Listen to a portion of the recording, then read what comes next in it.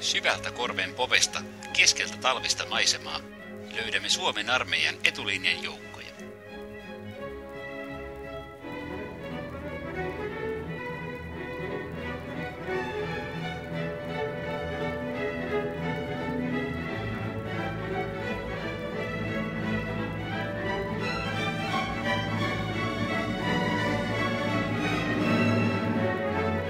Siellä on myös muuan lämmin ja suojassa teltta, jossa sen asukkaat keittelevät teevittään.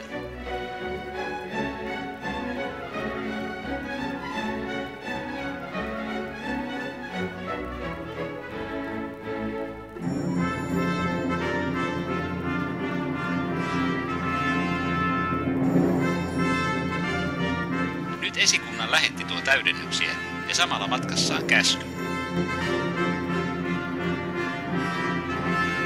Taas varustaudutaan partioretkelle.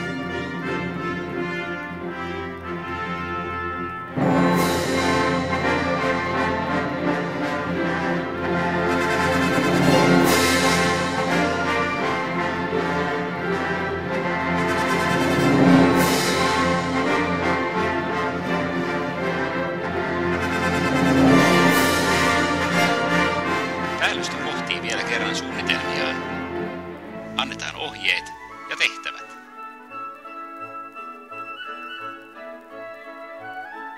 Niin ovat poikamme jälleen mielityössään.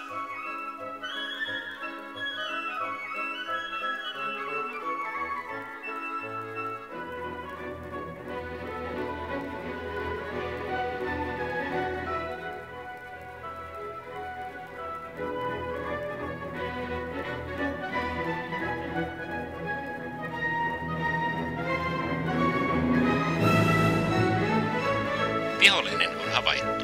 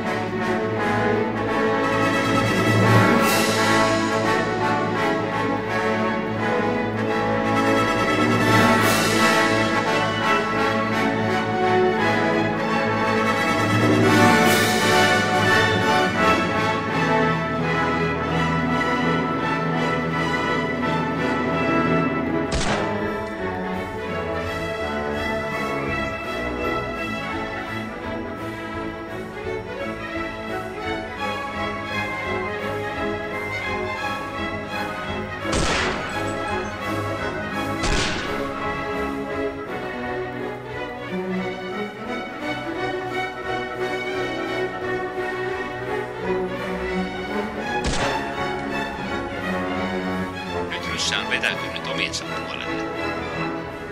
Ja karkulaisten jälkeensä jättämä asekin saadaan kuntoon. Onhan sitä huoltamassa oikeat miehet. Riittävästi huomioita tehtyään palaa partiomme